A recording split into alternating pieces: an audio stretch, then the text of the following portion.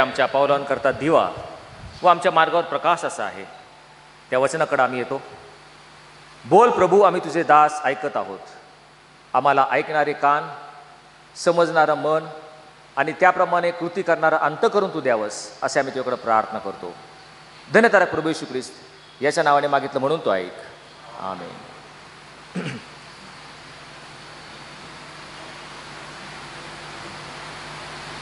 जे पवित्र शास्त्र आपण दैनंदिन जीवनामध्ये वाचत असतो त्या पवित्र शास्त्रामध्ये काही व्यक्तिरेखा आहेत काही कॅरेक्टर्स आहेत की ज्या आपल्याला खूप आवडतात. देवाचे असे काही सेवक आहेत की जे आपल्याला नेहमीच हव्याविषयी वाटतात. त्यांच्यावर आपलं प्रेम उफाळून येतं. आणि म्हणून बरेच वेळा त्या व्यक्तीच्या नावानं आपण आपल्या लेकरांना किंवा आपल्या मुलाबाळांना नावं देखील देतो. उदाहरणार्थ जोसेफ. याकोबाचा मुलगा योसेफ की ज्याला आपल्या भावांनी ज्याचा द्वेष केला ज्याला विहिरीमध्ये टाकलं ज्याला मिद्यानी लोकांना विकून दिलं जो पोटीफारच्या घरात असताना खोटा आरोप त्याच्यावर असला तुरुंगात गेला परंतु शेवटी मिश्राचा पंतप्रधान झाला. असं जोसेफ नावाचं हे जे आपलं कॅरेक्टर आहे किंवा व्यक्तिमत्व आहे ते नेहमीच आपल्याला आवडतं आणि म्हणून त्याच्या नावाने आपण आपल्या मुलांना देखील जोसेफ असं नाव देतो. मोजेस वीस लाख इस्रायली लोकांना बलाढ्य फारोच्या दास्यातून काढून चाळीस वर्ष भटकंती करून रानावनातून वचनदत्त देशात आणणारा मोशे. अनेक चमत्कार त्यांनी त्या ठिकाणी केले. मोशेला खरोखरच आम्हाला ते आवडतो हा मोशे. आणि म्हणून त्याच्या नावाने आपण मोजेस असं नाव आपल्या लेकरांना देखील देत असतो. आणि अशा अनेक नावं आपल्या डोळ्यासमोर येतील. देवाचा सेवक डेव्हिड किंवा नवीन करारात येशू ख्रिस्ताचे शिष्य पीटर जेम्स जॉन पॉल असे नाव आपल्याला नेहमी आवडतात आणि हव्याविषयी वाटतात परंतु पवित्र शास्त्रामध्ये असे देखील काही व्यक्तिरेखा आहेत असे काही कॅरेक्टर्स आहेत की त्यांचं नाव ऐकताच आपल्याला मनामध्ये एक घृणा येते. एक तिरस्कार येतो. त्यांच्याबद्दल आम्हाला त्वेष वाटतो आणि आम्हाला ते नको नकोसे वाटतात. उदाहरणार्थ हेरोद. हेरोद हे नाव घेतलं की आम्हाला मनामध्ये घृणा किंवा तिरस्कार येतो. यहुद्यांचा राजा कुठे जन्मला असं म्हणत ज्यावेळेस मागे लोक हेरोदाकडे आले आपल्याला एक प्रतिस्पर्धी राजा जन्मला आहे हे ऐकल्यावर हेरोद राजांनी संपूर्ण माहिती घेतली.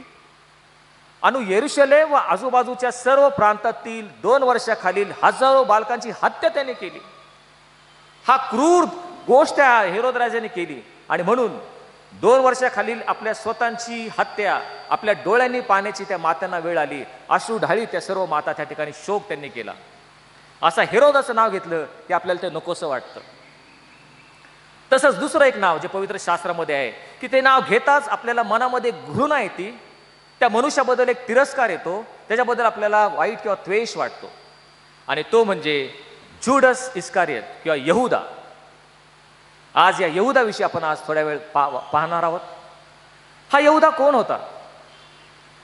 ज्यावेळेस येशू ख्रिस्त त्या भूतलावर आला आणि तीस वर्षाचा असताना त्याने सर्व यहुदी लोकांकडे वावरून त्या सर्व यहुदी समाजातून फक्त बारा शिष्यांची निवड केली. ह्या बारा शिष्यांना जगाच्या अंतापर्यंत स्वार्थ सांगण्याचं मोठं काम आणि कामगिरी येशू ख्रिस्त ह्या बारा शिष्यांवर टाकणार होता. ही फार मोठी जबाबदारी ह्या यहुदावर देखील येऊन पडलेली होती. हा फार मोठा मान सन्मानाने हुद्दा यहुद्याला प्राप्त झालेला होता. परंतु या यहुद्याने आपल्या जीवनामध्ये अशा काही घोड चुका केल्या. असे काही निर्णय त्याने घेतले की त्यामुळं त्याचा राह झाला आणि शेवटी त्याला नरकात जाण्याची वेळ आलेली आहे. या यहुदाकडे आपण पाहूयात. यहुदाच्या जीवन थोडंसं न्याहाळूयात यहुदाला निरखून पाहूयात. आणि यहुद्याने केलेल्या ज्या चुका आहेत त्या चुका समजावून घेऊन आपण आमच्या आयुष्यामध्ये जर अशा चुका करत असेल तर त्यापासून परावृत्त होऊन त्या सुधारण्याचा यावेळेस आज आपण प्रयत्न करणार आहोत. यहुदा इस्कारियत ह्या व्यक्तिरेखेकडं आज आपण थोड्या वेळ न्याहाळून पाहणार आहोत. ह्या यहुदाने अनेक गोष्टी आपल्या आयुष्यामध्ये गमावल्या. या यहुदाचं काय झालं? त्यांनी पुनरुत्थित ख्रिस्ताला पाहण्याची संधी तो क्षण त्याने हाता आपल्या आयुष्यातून गमावला गेला. ज्या वेळेस त्याला कळालं की येशूला धरून त्याला मारण्यात येणार आहे त्यावेळेस त्यांनी गळफास घेतला आणि पुनरुत्थित ख्रिस्ताला बाकीचे अकरा शिष्य पाहू शकले. जो आनंद त्यांना झाला जी शांती त्यांना प्राप्त झाली जो पवित्र आत्म्याचा आशीर्वाद त्यांना मिळाला तो आशीर्वाद ती शांती आणि तो आनंद यहुदाईस करत मिळू शकला नाही. पुनरुत्थित ख्रिस्ताला पाण्याचा क्षण त्याने त्या ठिकाणी गमावला. आणखी त्याने काय गमावलं? येशूचं शरीर जी मंडळी त्या मंडळीचा एक सहभाग एक घटक म्हणून तो त्या ठिकाणी राहू शकला असता. प्रिस्ल्यांच्या कृत्यामध्ये दुसऱ्या अध्यात आपण वाचतो एक मंडळीची स्थापना झाली. अनेक मंडळ्या स्थापिल्या गेल्या. ख्रिस्ताची स्वार्थ सांगण्यात आली. तो क्षण त्या यहुदाने त्या ठिकाणी गमावला. त्याला मंडळीमध्ये सहभागिता होता आलं नाही. आणखी यहुदेने काय गमावलं? प्रभूने त्याच्यावर जी जबाबदारी सोपवलेली होती स्वार्थ सांगण्याची जी मोठं झू आणि ओझ या शिष्यांवर टाकलं होतं त्याला हा यहुदा मुकला त्याला परागांदा झाला. ती सेवा त्याला करता आली नाही. त्याने काय चुका केल्या त्यामुळे ही गोष्ट त्याला करता आली नाही. आणि सर्वात महत्वाची गोष्ट जो जीवनी मुगुट प्रत्येक सेवकासाठी परमेश्वराने स्वर्गात राखून ठेवलेला आहे ते सार्वकालिक जीवन आणि तो जीवनी मुगुट याला हा यहुदा परागंदा झाला तो त्याला प्राप्त करता आला नाही. आणि म्हणून पाहूयात या यहुदाने केलेल्या पाच चुका आज आपण पाहणार आहोत. कोणत्या चुका या यहुदाने केल्या? आणि त्या चुकातून आपण काय धडा घेणार आहोत हे आपण यावेळेस पाहण्याचा प्रयत्न करूयात. चला तर जाऊयात. आज आपण पाहूयात यहुदाने केलेल्या पाच चुका आणि त्यातून आपण कोणता धडा घ्यायचा आहे याच्याकडे थोडं लक्ष देऊयात. सर्वप्रथम यहुदाने स्वतःला परिवर्तित करण्याचं टाळलं स्वतःला बदलणं स्वतःला सुधारण्याचं त्यांनी प्रयत्न केला नाही. ही सर्वात मोठी चूक यहुदाने केलेली आहे. तो स्वतःला परिवर्तित करू शकला असता बदलू शकला असता परंतु यहोदाने तसं केलं नाही. ज्यावेळेस येशू ख्रिस्त सेवा करण्यापूर्वी त्या सर्व शिष्यांना त्यांनी गोळा केलं बारा शिष्यांची निवड त्यांनी केली. बारा शिष्यांना पाचारण केलं आणि त्या सर्वांना त्या ठिकाणी समोर उभा केलेला आहे. कदाचित एखादा समुद्र किनारा आहे आणि आपण कल्पना करा येशू या ठिकाणी उभा आहे. बारा निवडलेले शिष्य त्यासमोर आहेत आणि येशू त्यांना काय म्हणतो? योहान कृच्छ वर्तमान याचा सहावा अध्याय आणि सत्तरावं वचन. येशूने शिष्यांना म्हटले तुम्हा बारा जणांस मी निवडून घेतले नाही काय? पण मी तुम्हाला सांगतो तुम्हातील एक जण सैतान आहे. ज्या क्षणी प्रभू येशू ख्रिस्ताने बारा शिष्यांची निवड केली होती त्या क्षणी येशू त्यांना निक्षवून सांगतो मी तुम्हा बारा जणांची निवड केली आहे पण मी तुम्हाला सांगतो तुम्हातील एक जण सैतान आहे. तो यहुदा इस्कारियोत विषयी बोलत होता. सुरुवात करताना तो सैतान म्हणून आहे आपण पाहतो. मग साडेतीन वर्ष हा यहुदा इस्कारियोत शिष्यांबरोबर येशू बरोबर राहिला. येशूच्या सहवासात तो होता. येशूच्या सहभागीतेत तो होता. नव्हे ही जी टीम आहे हा जो गट आहे याचा तो खजिनदार होता. कारण आताच आपण शास्त्राभाग वाचला यहुदाकडे डबी होती. एक मोठं पद यहुदाने त्या ठिकाणी घेतलेलं होतं ती जबाबदारी तो पार पडत होता. परंतु साडेतीन वर्ष येशू ख्रिस्ताबरोबर राहून आता येशू ख्रिस्त वधस्तंभावर जाण्याची वेळ जवळ आलेली आहे. दुसरा दिवस वलांडनाचा सण आहे. त्याच्या आदल्या दिवशी म्हणजे वलांडन सणाच्या आदल्या दिवशी माडीवर शेवटलं भोजन होणार आहे. त्या घटनेकडे आपण थोड्या वेळ येऊयात. रात्रीची वेळ आहे. येशू आणि बारा शिष्य हळूहळू माडीवरली खोलीत जात आहेत जिना चढत आहेत. ते सर्वजण गेले आणि माडेवरला खोली सर्वजण गोलाकार बसलेले आहेत. भयान शांतता आहे गांभीर्याचं वातावरण त्या ठिकाणी प्रस्थापित झालेलं आहे. भोजनाला सुरुवात होणार आहे. त्यावेळेस येशू ख्रिस्ताने एक गौप्य स्फोट एक रहस्य एक गुपित या शिष्यांसमोर तो उघड करत आहे. येशू त्यांना म्हणतो मी तुम्हाला सांगतो तुमच्यातील एक जण मला धरून देईल. तेच वाक्य साडेतीन वर्षानंतर येशू ख्रिस्त त्या बारा जणांना म्हणत आहे. साडेतीन वर्षापूर्वी येशू त्यांना म्हटला मी तुम्हाला सांगतो तुमच्यातील एक जण सैतान आहे. आणि साडेतीन वर्षानंतर आता मरणाच्या आदल्या दिवशी येशू ख्रिस्ताना म्हणतो मी तुम्हाला सांगतो तुमच्यातील एक जण मला धरून देईल. असं म्हटल्यावर सर्व शिष्य एकमेकाकडे पाहू लागले. मग हा जो योहान त्याच्या उराशी बसला होता तो म्हटला येशू प्रभूजी तो धरून देणारा कोण आहे? येशूने त्याला म्हटलं मी आपला घास ताटात बुचकळून ज्याला भरवतो तोच तो आहे. असं बोलून येशूने ताटात घास बुचकळून यहुदा इस्कोरत याला दिला. पुढचं वचन आम्हाला सांगतं मग त्याच्यामध्ये सैतान शिरला आणि येशूला धरून देण्याची संधी पाहण्यासाठी तो बाहेर अंधारात निघून गेला.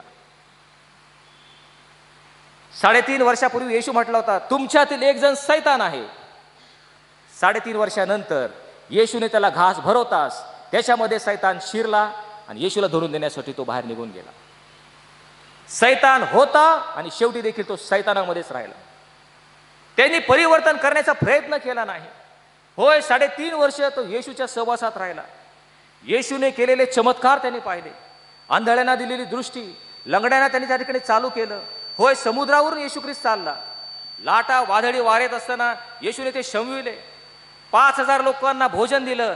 एवढंच नव्हे चार दिवस मृत झालेल्या लाजाराच्या कबरेसमोर बाहेर राहून येशूने लाजारा बाहेर आहे म्हटल्यावर तो मृत लाजार बाहेर आलेला आहे. हा मनुष्य कोणतरी अद्भुत आहे अद्वितीय आहे देवाचा पुत्र आहे असा विश्वास धरण्याची संधी साडेतीन वर्ष यहुदा इस्करेतला मिळाली होती. होय तो परिवर्तित होऊ शकला असता. जरी तो सुरुवातीला सैतान होता हरकत नाही परंतु हृदय परिवर्तन करून त्याचं पाषाण हृदय मांसमय करण्याची संधी साडेतीन वर्ष यहुदाला मिळाली पण परिवर्तन होण्याचं यहुदाने टाळलं. तो सैतान होता आणि शेवटी देखील सैतानच राहिला. प्रियानो आम्ही देखील असेच आहोत का? होय कदाचित आमची सुरुवात एखादा सैतानासारखी झाली असेल. होय आम्ही पापाच्या दास्यात पापाच्या गुलामगिरीत सैतानाच्या विळख्यात आम्ही पडलेलो असू.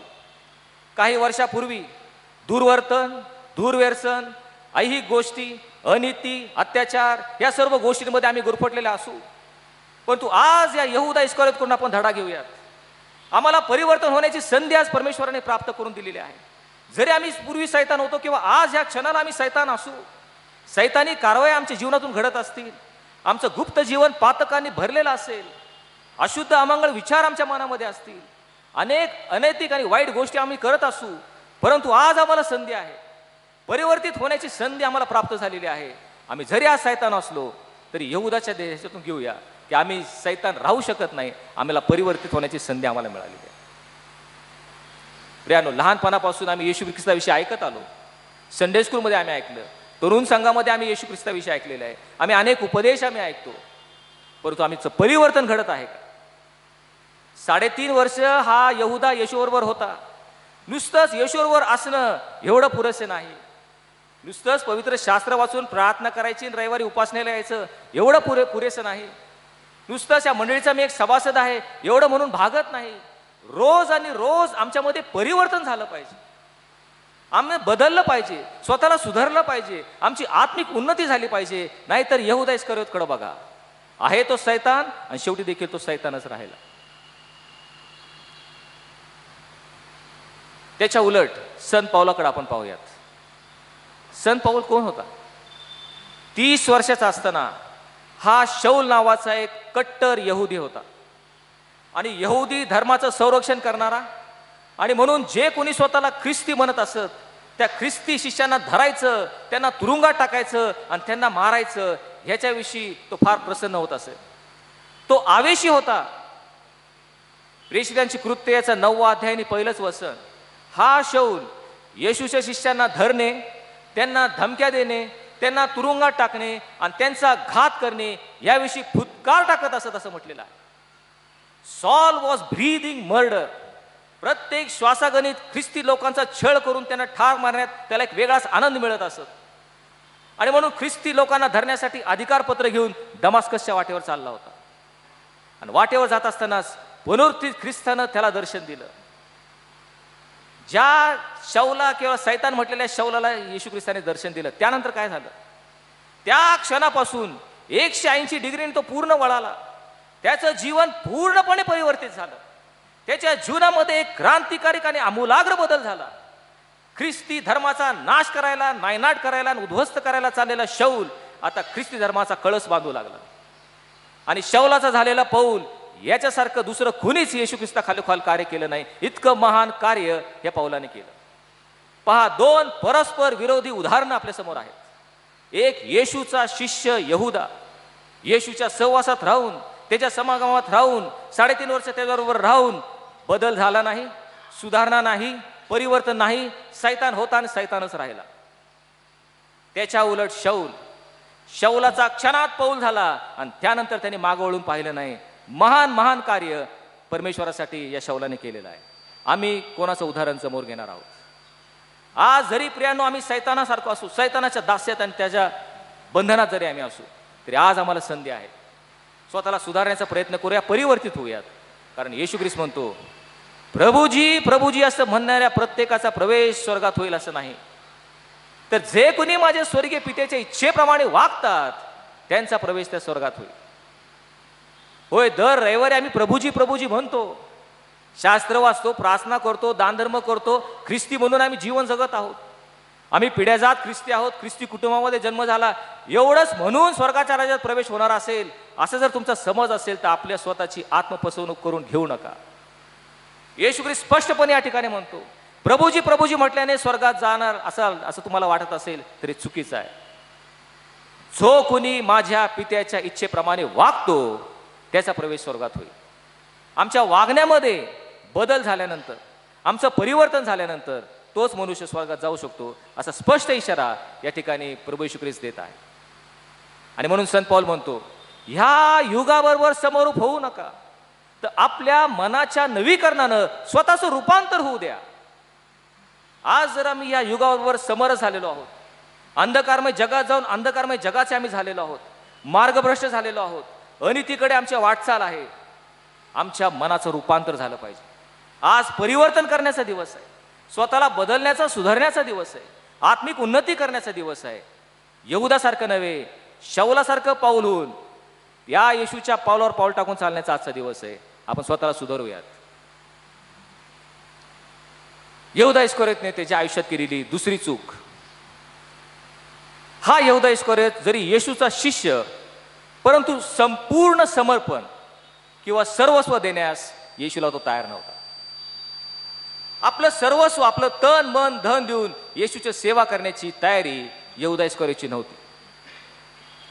एकदा प्रभू येशू ख्रिस्त एका घरी भोजनासाठी गेला आणि त्या ठिकाणी गेलेला असताना कोणी एका स्त्रीने बहुमूल्य तेलाची अलावास्त्र कुपी आणली आणि येशूच्या मस्तकावरती ओतली. ही बहुमूल्य तेलाचे अलावास्त्र कुपी येशुकाच्या मस्तकावर होताच शिष्य आणि यहुदा इस्करत काय म्हटले? हा नाश कशाला? हे पैसे विकून जर आपले पैसे आले असते तर अनेक गोरगरिबास आपल्याला देता आले असते. हा नाश कशाला? एवढी मोठी महागाची अलवास्त्र कुपी येशूवर तू का ओतलीस? असं यहुदाचं म्हणणं होतं. या आलवास्त्र तेलाची कुपीची किंमत किती होती? एका मजुराची एक वर्षाची मजुरी एवढी त्याची किंमत होती. याचा अर्थ समजा आम्हाला महिन्याला पन्नास हजार रुपये कोणाला पगार असेल तर सहा लाख रुपये किमतीची ही आलावास्त्र तेलाची कुपी. एवढा नाश कशाला? येऊदा मिळतो थोडीफार एखादी साधी तेलाची कुपी आणून टोचली असती चाललं असतं. हे एवढं मोठी किमतीची महागाची मालाची ही कुपी का तू टाकलीस? येहुदा आपलं थोडंफार द्यायला येशूला तयार होता. सर्वस्व हे देण्यास तो तयार नव्हता. ही एक मोठी चूक त्या ठिकाणी यहुदाने केलेली आहे. पण ख्रिस्ती शिष्य या नात्याने आम्ही देखील अशाच प्रकारचं वर्तन येशूचं करतो का? होय आमचा आयुष्यातला उरला सुरला वेळ आम्ही कदाचित प्रभू येला देऊ. आमचं सर्व तारुण्य आमच्या करिअरकडं आमचा व्यवसाय आमची नोकरी याकडे आम्ही झोकून देतो. आमचं सर्वस्व आमच्या नोकरीसाठी आम्ही घालवतो. आणि मग वयाची शेवटची वृद्ध काळातली काही दिवस ते आम्ही प्रभूला देऊयात. ही आमची वृत्ती असती का? आम्हाला काय कलागुण परमेश्वराने दिले आहेत.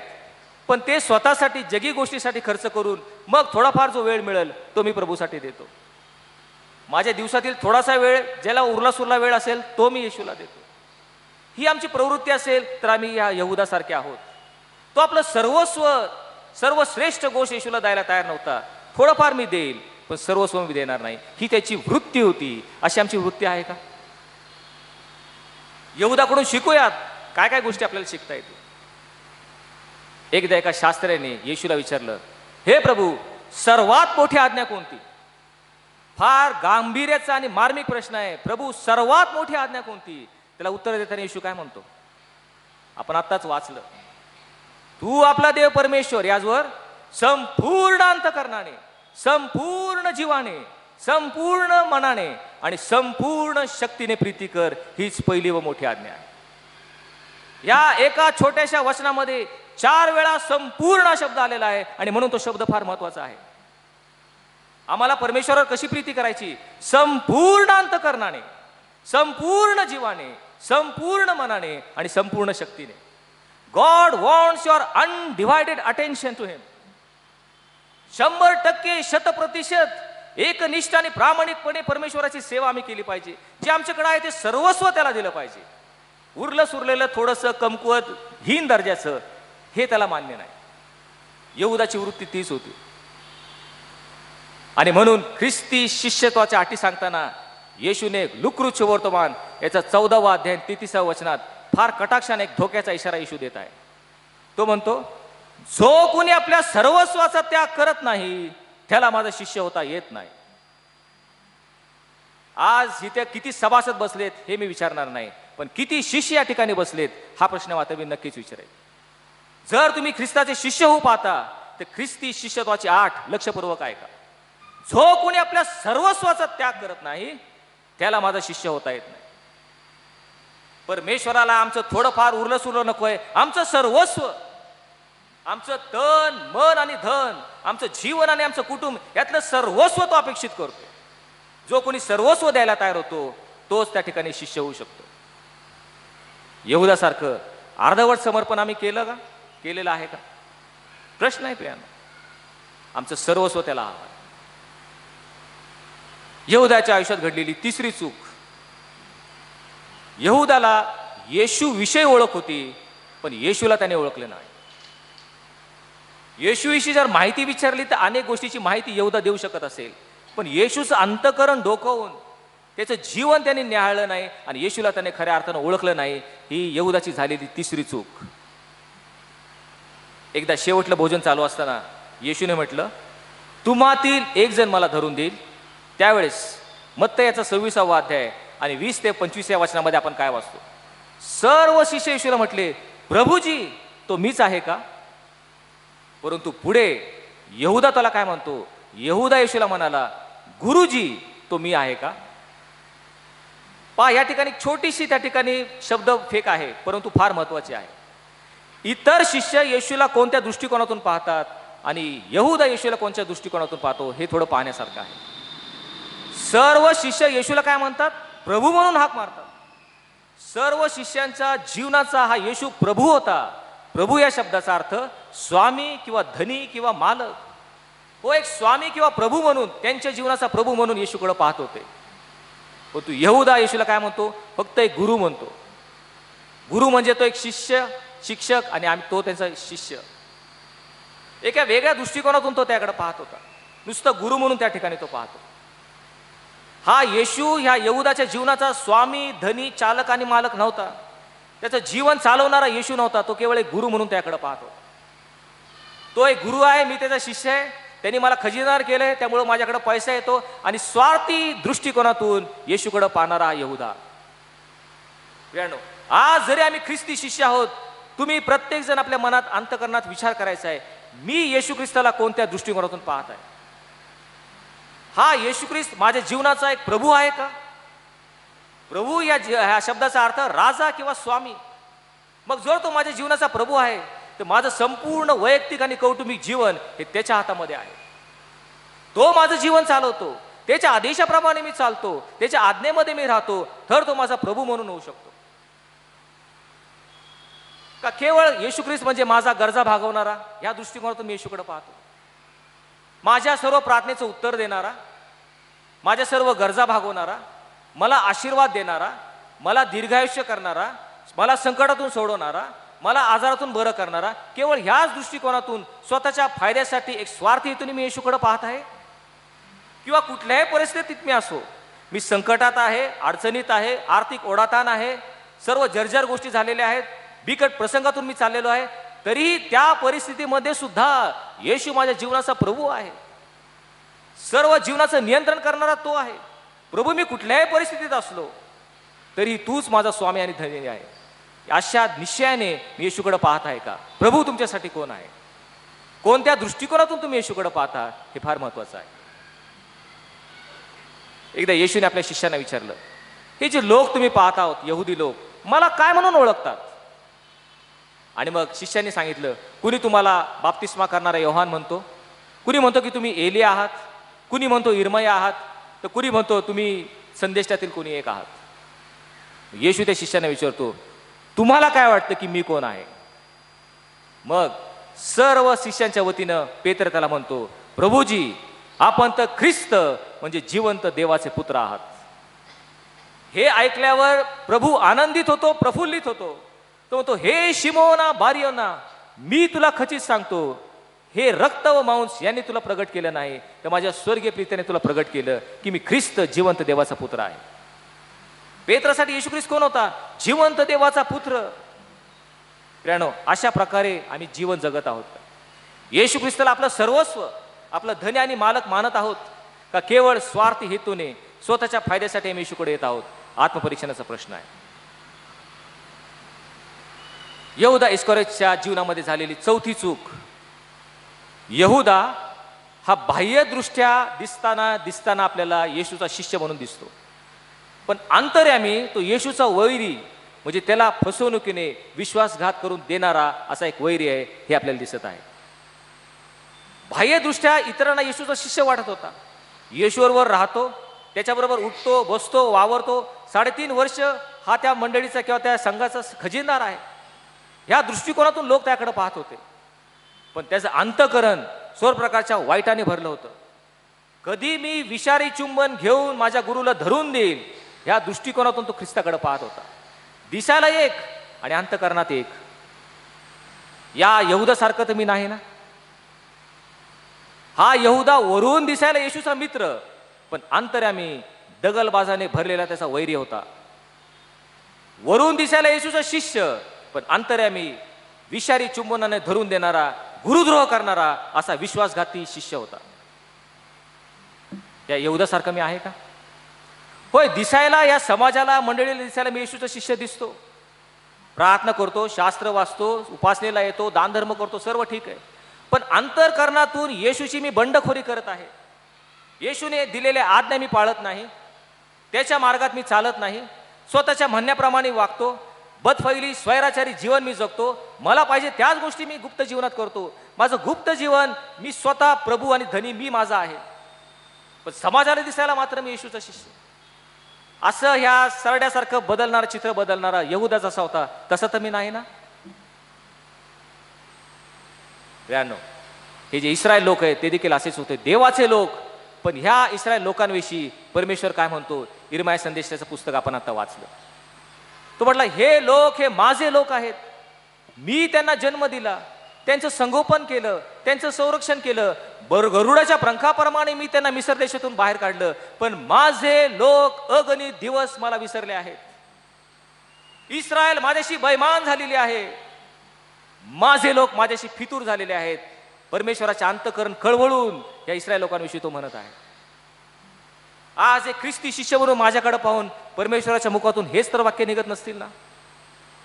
हा माझा शिष्य माझ्याशी बैमान झालेला आहे. माझ्याशी तो फितूर झालेला आहे. माझा शिष्य मला अगणित दिवस विसरलेला आहे. असं म्हणायची वेळ तर माझ्यावर येणार नाही?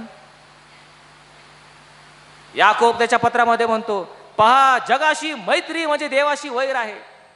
आज जर आम्ही जगाशी मैत्री करत आहोत होय रविवारी मी उपासनेला येतो पवित्र मंदिरात येतो पण सोमवार ते शनिवार मी जगाचा होतो जगाशी हात मिळवणी करतो सर्व प्रकारची तडजोड करतो लाचलुचपत आहे भ्रष्टाचार आहे अनिती आहे सर्व गोष्टी जर मी करून पुन्हा रविवारी चर्चला येतो तर जगाशी मैत्री हे देवाशी वैर आहे. यहुदापेक्षा मी दुसरा कोणी वेगळा नाही यहुदा देखील असाच होता. दिसायला शिष्य अंतकरणातून येशूचा वैरी. मी तर तसा नाही ना? आणि म्हणून संत पॉल म्हणतो पहा मी एका पतीबरोबर तुमचं वागदान केलेलं आहे. तुम्हाला एक शुद्ध कुमारी म्हणून त्याला सादर करण्याचा माझा प्रयास आहे. आम्ही तुम्ही आणि मी जी ख्रिस्ती मंडळी आम्ही ख्रिस्ताची वधू आहोत. एक शुद्ध कुमारी म्हणून आम्ही त्याला प्रगट झालं पाहिजे. ज्याच्यामध्ये कुठली डाग नाही कुठली सुरकुती नाही अर्धवट स्व समर्पण नाही संपूर्ण समर्पणाची त्याला गरज आहे. आम्ही त्या प्रकारे आहोत का? आत्मपरीक्षण केलं पाहिजे.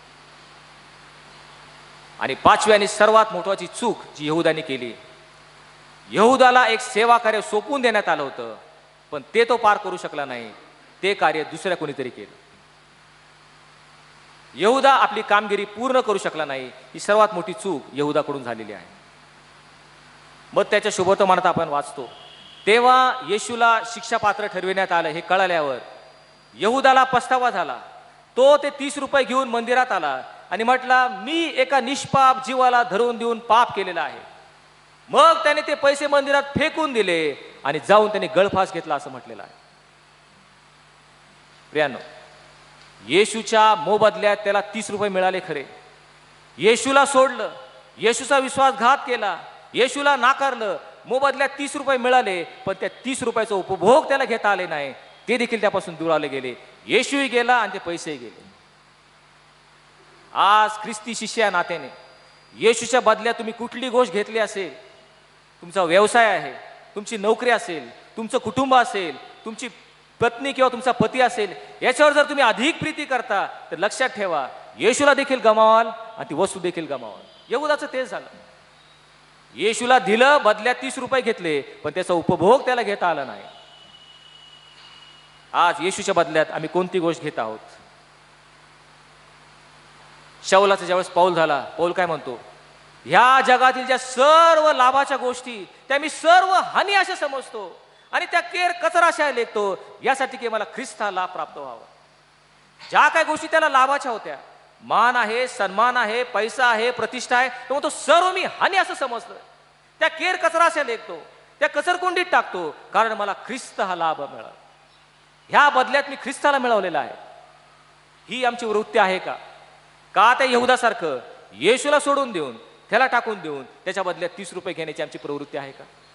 ह्या स्वार्थी हेतून आम्ही येशूकडे आ- आलो आहोत का? अशा स्वार्थी हेतून येशूचा आम्ही शिष्य होऊ पाहतो का? आज आत्मपरीक्षणाचा प्रश्न आहे. प्रियानो परंतु प्रगटीकरण याचा एकविसावा अध्याय आणि नऊ ते चौदा या ठिकाणी काय म्हटलेलं आहे? मग त्याच्या अगोदर आपण पाहूयात प्रेषितांची कृत्य यामध्ये ज्यावेळेस हा यहुदा इस्कारियत मरण पावला मग त्याची जागा घेण्यासाठी शिष्यांनी दोन शिष्यांची निवड केली.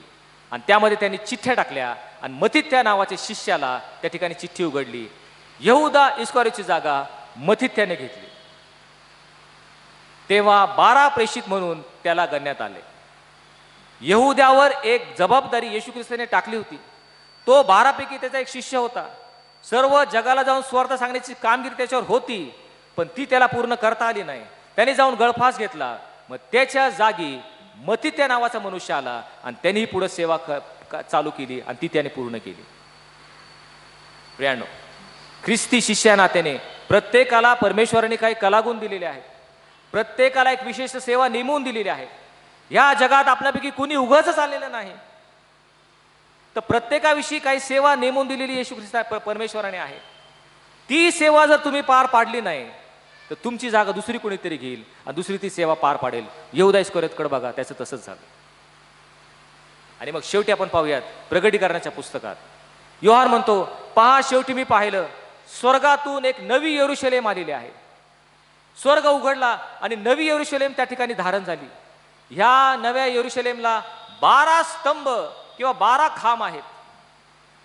ज्या खांबावर किंवा पायावर ही येरुशलेम नगरी रचलेली आहे असे बारा खांब आहेत. ह्या बारा खांबावर प्रत्येक प्रेषिताचं नाव लिहिण्यात आलेलं आहे असं योहानाने पाहिलं. आणि मग भावी काळामध्ये ज्यावेळेस आम्ही जाऊ त्या नवीन यरुशलेमेत जाऊ आम्ही पाहू की त्या ठिकाणी बारा खांब आहेत. आणि त्या बारा खांबावर प्रत्येक प्रेषिताचं नाव लिहिलं गेलेलं आहे. मत्तयाचं नाव आहे याकोबाचं नाव आहे योहानाचं नाव आहे. त्यातला एक खांब असा आहे की त्या ठिकाणी यहुदा इस्कारियोत हे नाव लिहिलेलं होतं. पण ते नाव खोडलं गेलं आणि तिथं मथित त्या नाव आपल्याला त्या ठिकाणी दिसेल. येऊदाश्वरचं नाव खोडून मथित या नाव त्या पायावर आपल्याला दिसणार आहे. येशूने म्हटले पहा मी लवकर येतो. तुझा मुकुट कोणी दुसरा घेऊ नये म्हणून जे तुझ्याकडे आहे त्याला धरून राहा. जो विजय मिळवतो त्याला मी माझ्या देवाच्या मंदिरातील स्तंभ बनवीन. पहा मी लवकर येतो. तुझा मुगुट दुसरा कोणी घेऊ नये. जे तुझ्याकडे आहे ते धरून राहा. ही शक्यता नाकारता येणार नाही. तुमच्यासाठी माझ्यासाठी प्रत्येकासाठी एक जीवनी मुकुट राखून ठेवलेला आहे. पण जी सेवा प्रभूने आम्हाला नेमून दिलेली आहे ती सेवा जर मला करता आली नाही तर त्या शेवटल्या दिवशी माझा मुकुट काढून घेण्यात येईल. आणि ज्याने ती सेवा पूर्ण केली त्याला तो देण्यात येईल. आणि म्हणून येशू म्हणतो तुझा मुकुट दुसरा कोणी घेऊ नये. म्हणून जे तुला दिलंय ते दृढ धरून राहा. आणि म्हणून आज येहुद्याच्या या आयुष्यातील पाच महत्त्वाच्या चुका आपण पाहिल्यात. चूक नंबर एक येहुदाचं परिवर्तन झालं नाही. परिवर्तन करण्याची संधी आली सुद्धा पण त्याने आपल्या स्वतःची आत्मिक उन्नती केली नाही सुधारणा केली नाही बदल केला नाही. सैतान होता आणि सैतान म्हणूनच मरण पावला. आम्ही तसं करू नये. नंबर दोन येहुदाने प्रभूला संपूर्ण समर्पण केलं नाही. आपल्या आयुष्यातला थोडंफार देण्यास तो तयार होता. पण आपलं सर्वस्व सर्वश्रेष्ठ सर्वात प्रिय हे तो येशूला देण्यास तयार झाला नाही. आम्ही तशी तयारी करत आहोत का? येहुदा इस्करेच्या आयुष्यातली तिसरी चूक. येशू येशूविषयी माहिती होती पण येशूला त्याने ओळखलं नव्हतं. येशू त्याच्या जीवनाचा प्रभू स्वामी धनी आणि चालक आणि मालक नव्हता. केवळ एक गुरु म्हणून त्याकडे तो पाहत होता. स्वार्थी हेतूने येशूकडे येहुदाने पाहिले. आम्ही तसेच आहोत का? आमच्यामध्ये बदल झाला पाहिजे. येहुदाची चौथी चूक येहुदा बाह्यरित्या येशूचा शिष्य पण अंतर्यामी दगलबाज करणारा येशूचा एक वैरी होता. मी तसा आहे का? समाजाला दिसायला येशूचा शिष्य आहे पण अंतकरणातून येशूशी बंडखोरी करणारा येशूच्या आज्ञा न जुमानता स्वैराचारी जीवन जगणारा मी शिष्य आहे का? आणि पाचवी गोष्ट यहुदाची अपूर्ण कामगिरी परमेश्वराने दुसऱ्यावर सोपवली. तुम्हाला आणि मला परमेश्वराने कामगिरी दिली आहे मी ती पूर्ण करणार आहेत का? नाहीतर माझा मुकुट काढून दुसऱ्याला देण्यात येईल. प्रार्थना करूयात.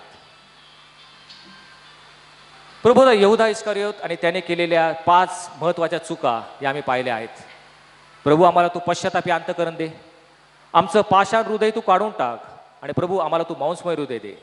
आणि त्या केलेल्या चुका प्रभू आम्ही सुधारून आम्ही आमच्या आयुष्याची आत्मिक उन्नती करावी यासाठी मग प्रत्येकाला तू परिवर्तित कर. धन्यतारक प्रभू येशू ख्रिस्त याच्या नावाने मागितलं म्हणून तो ऐक आम्ही